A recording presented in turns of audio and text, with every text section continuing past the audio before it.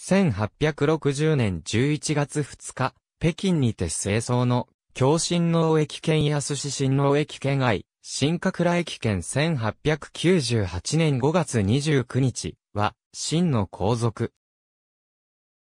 同皇帝の皇禄氏で、母は成功忌妃。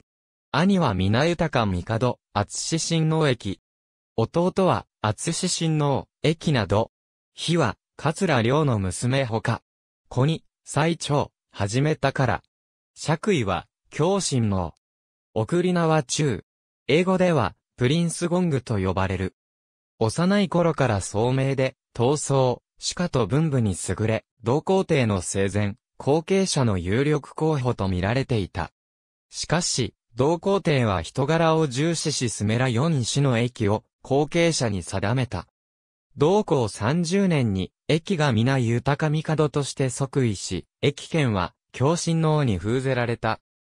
皆豊か帝の知性の皆、豊か3年には、軍機大臣となるが、皆、豊か5年に、母が、既得になると兄に、皇太后の称号を授けるよう懇願したため、兄の不況をかぶり軍機大臣を罷免された。港よ7年に徒党に復帰、内大臣などを歴任するが、兄の存命中に徴用されることはなかった。アロー戦争中の皆、豊か10年、イギリス軍が北京に迫ると、北京から熱海避難した兄から、戦後処理を命じられ、北京条約の調印、ついで総理各国事務衙門の設立に携わった。駅県自身は、心情的には、排外主義者であったとされるが、屈辱的な不平等条約の締結当事者となってしまったため、陽鬼語とつるむむつおぼを意味する、鬼語録というあだ名で同胞から罵られた。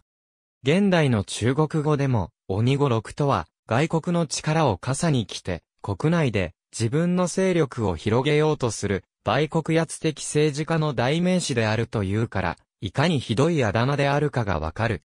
皆、豊か11年の兄の死後、西太后、東太后や弟の厚志親王、駅と結んで、クーデターを起こし、維新の再演、帝親王単価、祝従なを除去し、宮廷内の権力を握った。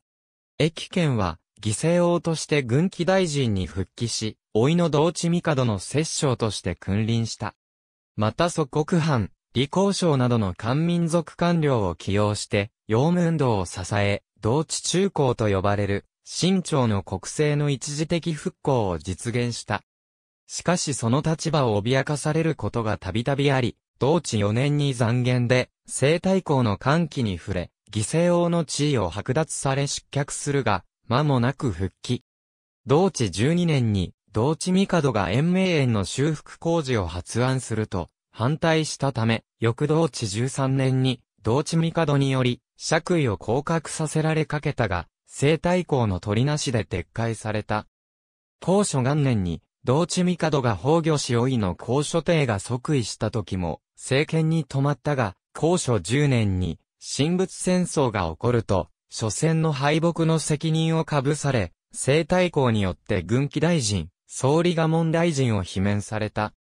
高所20年に、日清戦争が勃発すると総理衙門と総理海軍を命ぜられて、外交と軍務を統括し、軍機大臣に復職して国難に当たったがなす術もなく、敗戦を迎え、4年後の高所24年に65歳で病死した。